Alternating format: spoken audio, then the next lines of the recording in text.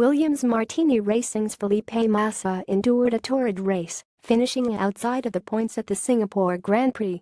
The Brazilian struggled in qualifying, managing to start ahead of teammate Lance Stroll, but couldn't escape qualifying one.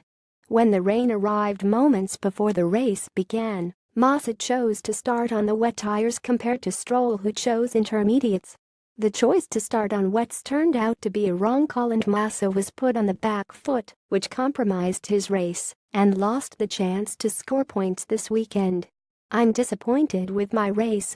First of all, I started on the wrong tires which was my decision, but I think in that moment you never know what is going to happen.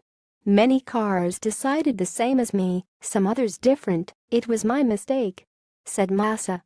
The Brazilian lost the chance to make places under the second safety car following Scuderia Toro Rosso's Daniel Kvyat's crash.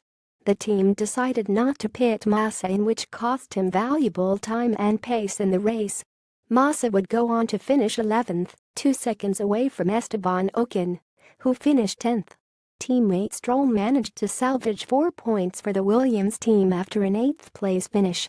When the safety car was out I asked to stop, but the team decided to stay out. They were saying that maybe the track would dry. I was at the back, so it was my only chance in the race. In the end, I stayed out. I was so slow, and my race was finished. I'm disappointed for my race, but not for the team, because Lance managed to score points. At the end, it could have been worse, looking at where we started the race, so not bad for the team, but a disaster for me.